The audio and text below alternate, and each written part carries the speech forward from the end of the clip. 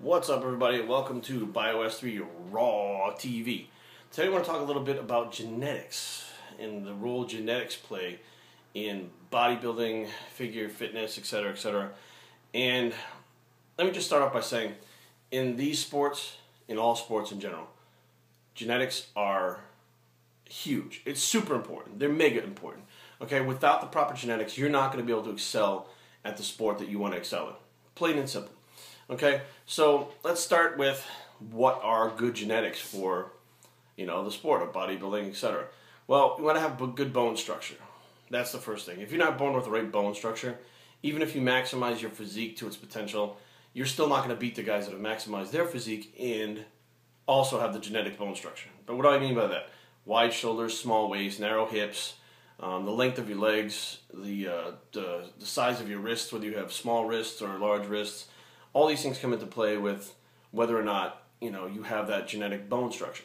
Second of all, the way the muscle system is set up, muscle fiber types. Now, some people can get bigger than others. Some people will never gain the size, and that is all genetic. You can train. I know, people that are 25, 30 years of training in, in competition shape, in good shape. They're still 130 something pounds. I mean, that's a bantamweight. That's why they have those weight classes. So you got to be aware that if um, if you don't have the genetics, you're not going to go from a bantamweight to a super heavyweight. Now, Dexter Jackson, here's a guy who competed as a bantamweight and now competes as a super heavyweight. He's the only one in the IFBB, the only one that started at the bottom and has gone all the way up to super heavyweight from that bottom weight class. So obviously, if you know genetics didn't play a role, all these light, all these uh, excuse me, bantamweights would be able to get to super heavyweights, but that's not that doesn't happen. Okay, he's the only one. So let me tell you guys a little story about how I finally realized how much a role genetics played in bodybuilding. So the whole time I've been training, I mean I'm a fairly decent sized guy, 240 pounds at 5 foot 10. I train pretty hard. I've had a 500 pound bench press at 21 years old and I weigh 270 pounds. Uh, it's safe to say that I could pack on mass pretty decent. Now, my training partner, that when we were growing up, we were both teenagers competing in the teen division, and he would always be a little bit bigger than me. He was about 10 pounds heavier than me on stage, so he had 10 more pounds of muscle than I normally had, plain and simple.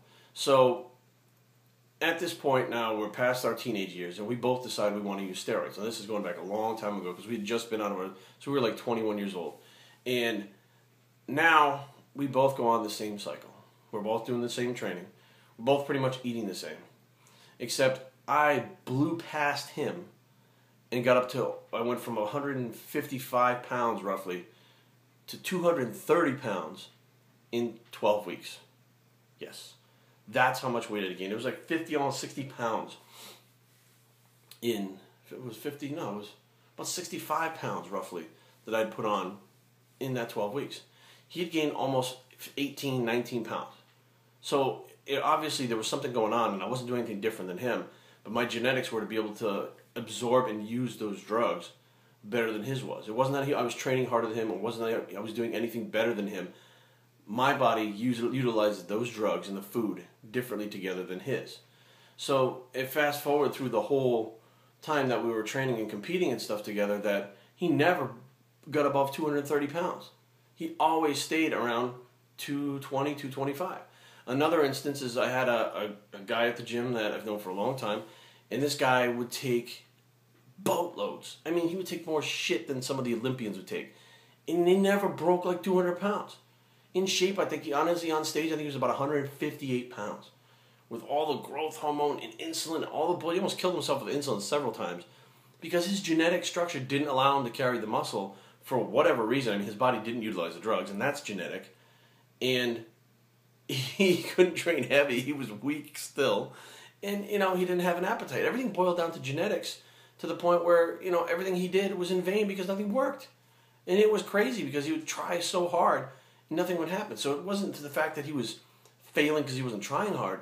His body just didn't want to do it, and that's why they created men's physique because it doesn't matter who you are if you don't have the genetics, you're not going to build that size and that mass. It's just not going to happen. Okay.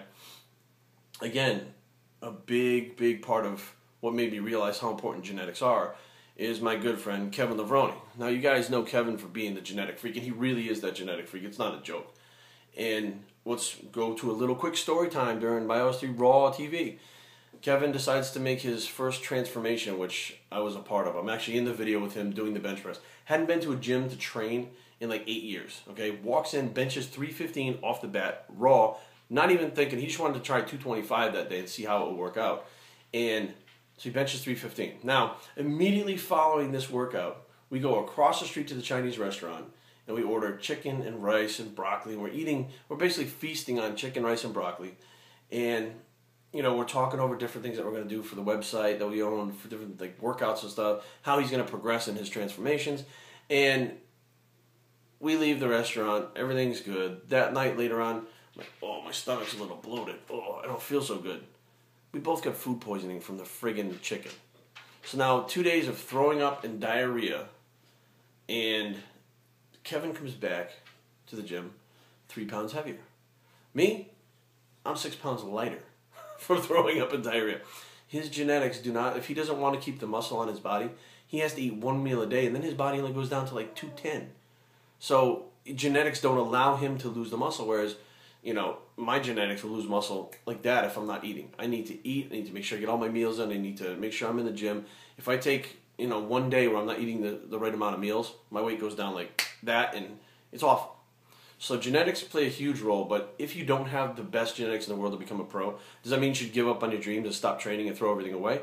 No, of course not. Because if you push as hard as you want to try to get to, as hard as you possibly can, to try to get to the Mr. Olympia level, and you never get to the Mr. Olympia level, you will still get to a level that you never thought you would. So always put your chin down, eyes up, push forward, keep going forward, try to accomplish every goal you can possibly can, and who knows, along the way you may actually accomplish some stuff that you didn't even think you ever could. BioS3training at gmail.com. The blog is www.bios3.com, training.com, excuse me, and we're out.